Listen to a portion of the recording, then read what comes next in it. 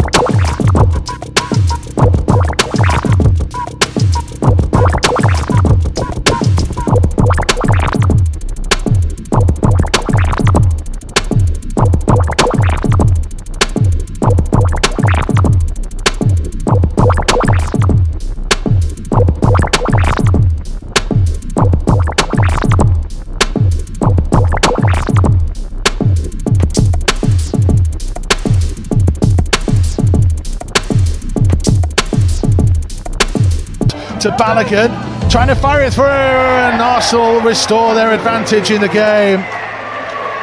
And such a frustrating way for it to happen from Wolves' point of view. Marquez was trying to shepherd it back to Sondergaard. The two of them got in a muddle, and Arsenal eventually made them pay.